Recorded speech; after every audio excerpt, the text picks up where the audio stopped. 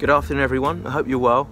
Uh, I just got off the phone with a friend of mine who uh, called me from San Francisco. He's, he's over there visiting at the moment and he was telling me you know all the places that he's been to. He's been to Pier 39 and he's doing the cable cars today.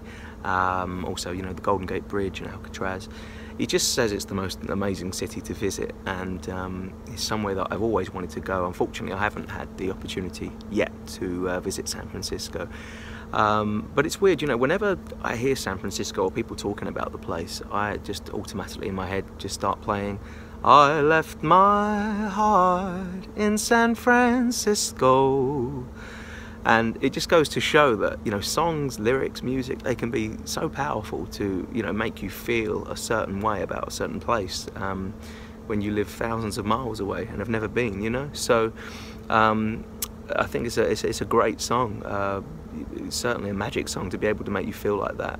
And of course, it's sung by uh, one of my favourite artists uh, in the world, Mr. Tony Bennett, um, who's a hero of mine, not just because of his wonderful voice and his talent, but you know, he's one of the last living legends uh, in this genre of music. You know, he's in his 90s now, and uh, there's no other reason that Tony is doing this than the fact that he just loves what he does. And, um, you know, he's managed by his son, which I think helps a great deal because obviously it's very important uh, to have your family around you and to have that bond.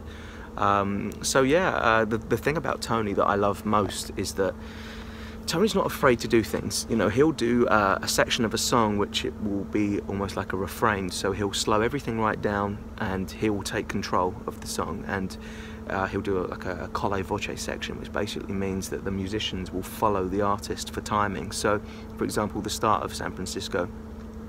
The loveliness of Paris seems somehow sadly gay. The glory that was Rome is of another day.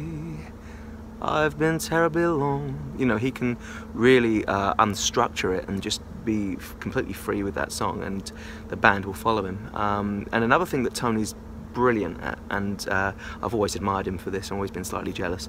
He always goes for the top notes, um, you know, A's and B's, and, and you know, really holds the notes uh, for a long time, and that's that's pretty unusual for um, a crooner to, to, to go for that kind of style, and that's what makes Tony so great, you know, that he's just not afraid to belt a note. Um, so yeah, I, have got a lot of respect for Tony. Um, the other thing lastly that I think is very important is that Tony, even though he's, he's in his 90s, he's still reinventing himself all the time.